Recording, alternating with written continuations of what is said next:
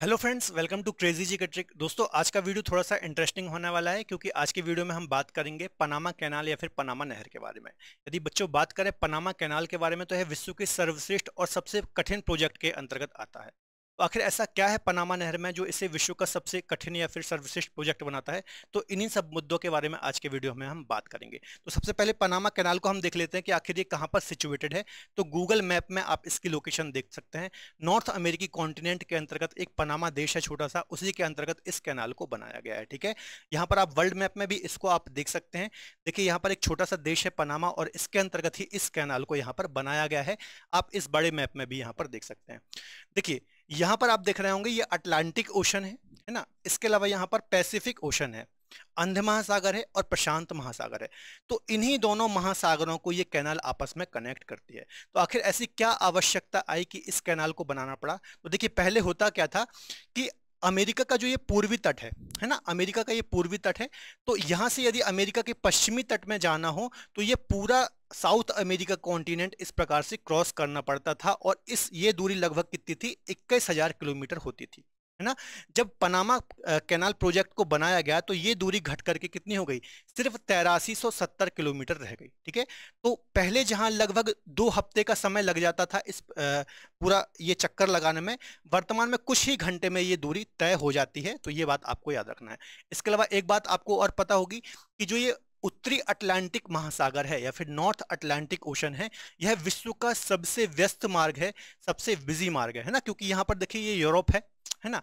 इसके अलावा यहाँ पर स्वेज कैनाल है तो ये भूमध्य सागर वाला रीजन भी काफ़ी महत्वपूर्ण हो जाता है। तो ये जो पूरा रीजन है, ये काफ़ी महत्वपूर्ण हो जाता है ट्रेड या फिर व्यापार के दृष्टिकोण से।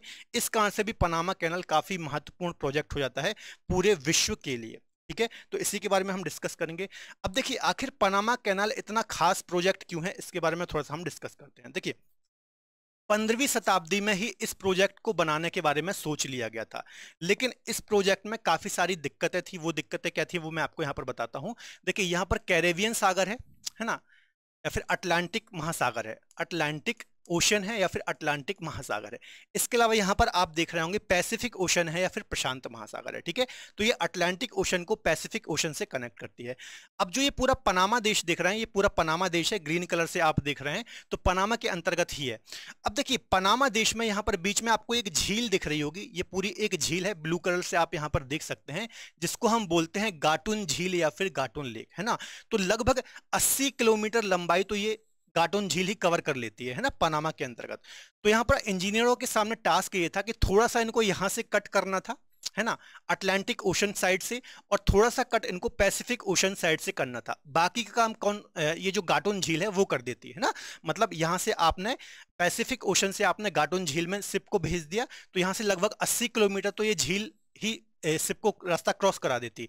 उसके बाद थोड़ा सा और लगभग एक डेढ़ किलोमीटर का रास्ता इसको कैनाल के थ्रू बनाना पड़ता और फिर ये अटलांटिक ओशन में चली जाती। लेकिन इंजीनियरों के सामने बच्चों, एक और बहुत बड़ी समस्या थी, वो ये थी कि जो ये आपको झील दिख रही है है ना?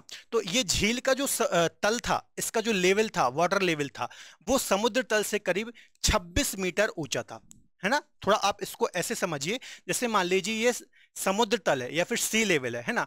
और ये गाटुन झील का लेवल इससे लगभग 26 मीटर ऊपर था, ठीक है? मतलब शिप को आपको यहाँ से यहाँ ले जाना था, ठीक है? तो इंजीनियरों के सामने ये एक बहुत बड़ा टास्क था, बहुत बड़ी समस्या थी।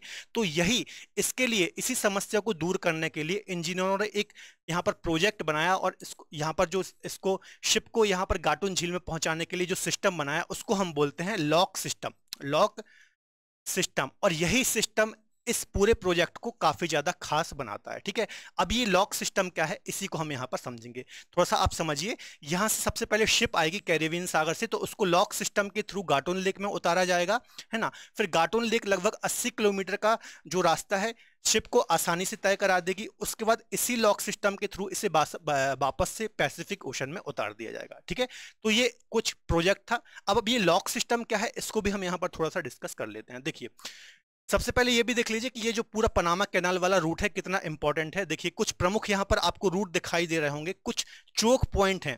देखिए, पूरे विश्व का लगभग जो 90 परसेंट ट्रेड होता है है ना? पूरे विश्व का जो सब 90 परसेंट ट्रेड होता है, वो सी रूट के द्वारा ही ट्रेड होता है है ना?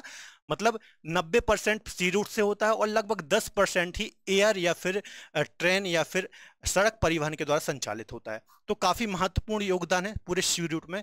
तो इसमें कुछ रेड डॉट आपको दिखाई दे रहे होंगे जो कुछ प्राइमरी चेक पॉइंट है है ना? जैसे आप देखेंगे स्ट्रेट ऑफ़ मलक्का है यहाँ पर। यहाँ पर स्वेज कैनाल है जिब्राल्टर स्ट्रेट है बास्पोरस स्ट्रेट है इसी के अलावा पनामा स्ट्रेट है। तो ये कुछ मेन चोक पॉइंट है जहाँ से पूरे विश्व का आ, सी मतलब देखा जाए तो सी रूट में महत्वपूर्ण भूमिका ये निभाते हैं ठीक है? तो ये काफ़ी महत्वपूर्ण आप देखेंगे रूट हो जाता है। अब ये लॉक सिस्टम कैसे काम करता है इसको थोड़ा हम यहाँ पर एक बार देख लेते हैं। देखिए यहाँ पर मैंने एक मैप रखा हुआ है, इसको आप यहाँ पर देख सकते हैं। सबसे पहले देखिए क्या होता है यहाँ पर। पैसिफिक ओशन में यहाँ पर शिप है, ठीक है? पैसिफिक ओशन से यहाँ पर ये लॉक बनाए गए हैं, ठीक है? ये देखिए लॉक है। तो सबसे पहले इसके वाटर लेवल को मैच किया जाता है। यहाँ से गेट खुलता है, शिप इस लॉक में आती है। उसके बाद इन दोनों लॉक के वाटर को लेवल किया जाता है। ये वाला गेट ओपन होगा, इसके बाद जो शिप है, इस वाले लॉक में आ जाएगी।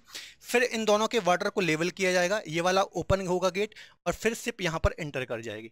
उसके बाद ये वाला गेट ओपन होगा और शिप फिर गाटोन लेक में आ जाती है। ये गाटोन लेक वाला रीजन है और यहाँ पर इजिली लगभग अस्सी किलोमीटर का सफ़र तय कर लेती है। उसके बाद फिर से ये अगले लॉक में जाती है। वाटर लेवल इसका सेम हो जाता है। दरवाज़ा बंद हो जाता है यहाँ पर। फिर वो अगले लॉक में जाती है। ठीक है, इस प्रकार से और फिर ये ओपन हो जाएगा डोर यहाँ पर बंद हो जाएगा। फिर यहाँ पर ये सीधे अटलांटिक ओशन या फिर पैसिफिक ओशन में चली जाएगी, ठीक है?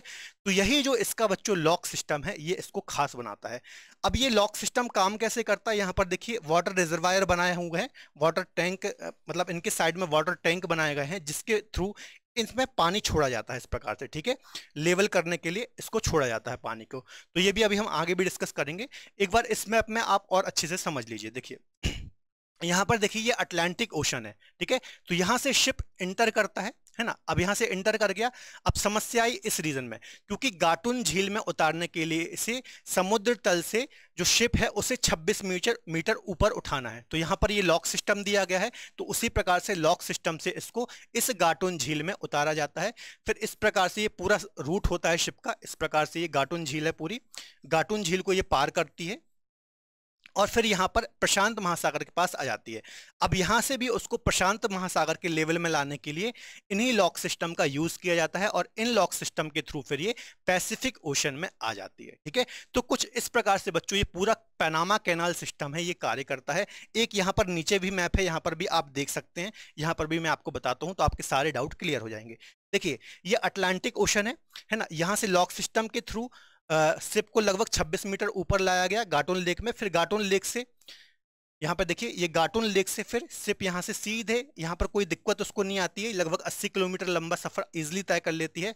फिर जब वो पैसिफिक ओशन के पास पहुँचती है तो यहाँ पर फिर उसको दो लॉक देखने को मिलते हैं।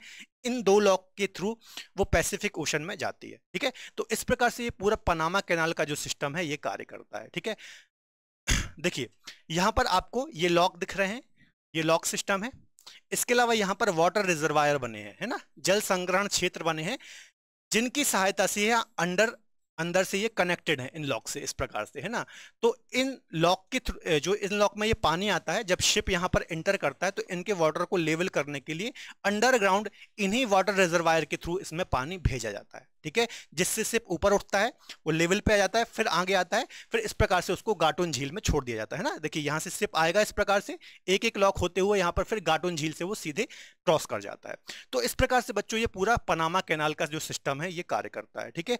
अब देखिए, कितने विशाल यहाँ पर शिप होते हैं, लगभग मैक्सिमम 1400 कंटेनर, ये जो आप कंटेनर दिख रहे हैं ना ये, ऐसे लगभग 1400 कंटेनर वाला शिप इस कैनाल से पास हो सकता है या फिर गुजर सकता है, ठीक है? तो काफ़ी बड़ा और इंपॉर्टेंट प्रोजेक्ट था ये पूरे हमारे इतिहास का। इसके अलावा एक पॉइंट और आपको याद रखना है, जब शिप कैनाल में एंटर करती है इन लॉक में एंटर करती है तो यहाँ पर जो जहाज़ का कैप्टन होता है है ना? कैप्टन होता है तो पूरे विश्व का एकमात्र ऐसा प्रोजेक्ट है जहाँ पर जहाज़ का कैप्टन जहाज़ पर से अपना नियंत्रण खो देता है। मतलब जो ये आपको इतना बड़ा शिप दिख दिख रहा है, इसको कंट्रोल कौन करता है? इसको कंट्रोल करता है जो पनामा अथॉरिटी के लोग होते हैं पनामा कैनाल के जो अधिकारी होते हैं, वही अधिकारी इस पूरे शिप को कंट्रोल करते हैं, ठीक है? और यहाँ पर जो ये पैना जो ये पूरा शिप है, इसको जो क्रॉस कराया जाता है तो ये यहाँ पर छोटे छोटे आपको इंजन दिख रहे होंगे, है ना? ये इंजन दिख रहे होंगे छोटे छोटे तो वायर के थ्रू इस शिप को, इससे बांधा जाता है और फिर इसको क्रॉस कराया जाता है पूरे इस लॉक सिस्टम से। क्योंकि देखिए, जो ये पूरा सिप है, इसका इंजन काफ़ी ज़्यादा हैवी होता है तो इससे कैनाल को नुकसान हो सकता है, इस कारण से पनामा कैनाल के जो अधिकारी होते हैं वही इसको पूरा क्रॉस करा, करा, कराते हैं। इन म्यूल्स की सहायता से ये काफ़ी हैवी और शक्तिशाली इंजन होते हैं ठीक है? तो ये बात भी आपको याद रखनी है। ठीक है तो इस प्रकार से कुछ दृश्य हैं पनामा कैनाल के। ठीक है तो ये बात आपको याद रखना है। देखिए दोस्तों, इस पूरे प्रोजेक्ट को बनाने के बारे में लगभग पंद्रहवीं शताब्दी के आसपास सोचा गया था, लेकिन लगभग अठारह सौ इक्यासी में फ्रांस की एक कंपनी ने इस पूरे प्रोजेक्ट पर काम करना स्टार्ट किया था और नौ वर्षों तक लगातार इस प्रोजेक्ट पर कार्य किया था। लेकिन इस पूरे प्रोजेक्ट को बनाने में उन्होंने सफलता नहीं पाई थी, क्योंकि यहाँ पर कार्य करना काफ़ी मुश्किल था। यहाँ पर उनके बहुत सारे अधिकारियों और मजदूरों की मौत होना स्टार्ट हो गई थी, बहुत सी बीमारियों के कारण। तो फ्रांस की वो कंपनी दिवालिया भी हो गई थी और उसने बीच में ही इस प्रोजेक्ट को छोड़ दिया था। आगे चल करके 1904 के टाइम पे अमेरिका की एक कंपनी ने इस काम को अपने हाथ में लिया और लगभग 1914 तक इस पूरे प्रोजेक्ट को दो वर्ष भीतर ही पूरा कंप्लीट कर दिया, ठीक है? तो अमेरिका के लिए ये पूरा प्रोजेक्ट काफ़ी महत्वपूर्ण था और उसने ही इसको आगे चल करके कंप्लीट किया। इसके अलावा बच्चों, जो पनामा कैनाल है, ये लगभग 160 कंट्री के 1700 पोर्ट या फिर बंदरगाह को आपस में कनेक्ट करती है। इसके अलावा इस कैनाल में लगभग दस हज़ार लोग कार्य करते हैं। और बच्चों, पूरे साल में पनामा कैनाल से लगभग 270 बिलियन डॉलर का व्यापार होता है पूरे विश्व में। तो काफ़ी महत्वपूर्ण और बड़ा प्रोजेक्ट है ये पूरे विश्व के लिए। इसके अलावा बच्चों, जो पनामा देश है, उसकी अर्थव्यवस्था के लिए भी पनामा कैनाल, जो पूरा प्रोजेक्ट है, ये काफ़ी महत्वपूर्ण है, क्योंकि पनामा को इससे लगभग एक बिलियन डॉलर का प्रतिवर्ष फ़ायदा होता है, ठीक है? इसके अलावा यहाँ से लगभग पंद्रह हज़ार जो सिर्फ़ हैं ईयरली पास होते हैं तो काफ़ी महत्वपूर्ण प्रोजेक्ट हो जाता है पूरे विश्व के लिए। तो फ़िलहाल आज के वीडियो में इतना ही। तो आई थिंक बच्चों पनामा कैनाल के बारे में जो ये पूरा वीडियो लेक्चर था, आपको पसंद आया होगा। मिलेंगे अगले बेहतर लेक्चर में। तब तक अपना ख्याल रखें और पढ़ते रहें। जय हिंद।